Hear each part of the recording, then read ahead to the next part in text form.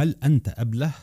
يقول دوستويفسكي إن كان يظهر عليك ويمكن وصفك بالبراءة والإيثار واللطف والأخلاق الرفيعة والصدق والوضوح والعطف ومحبة كل من حولك حيث أنك لا تملك ضغينة تجاه أحد فأنت أبله بكل تأكيد ليس سبب هذا أن هذه الصفات سلبية وإنما لأنك تعيش في وسط المجتمع المنحط الفاسد المليء بالقذارة الأخلاقية. مجتمع يرى البراءة سذاجة واللطف ضعفا والأخلاق يراها موضة قديمة.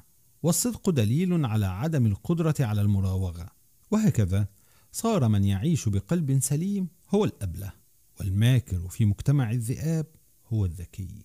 ويا لروعة تولستوي إذ يختصر كل حديثنا بقوله كن طيبا على الدوام واحرص على ألا يعرف أحد أنك طيب.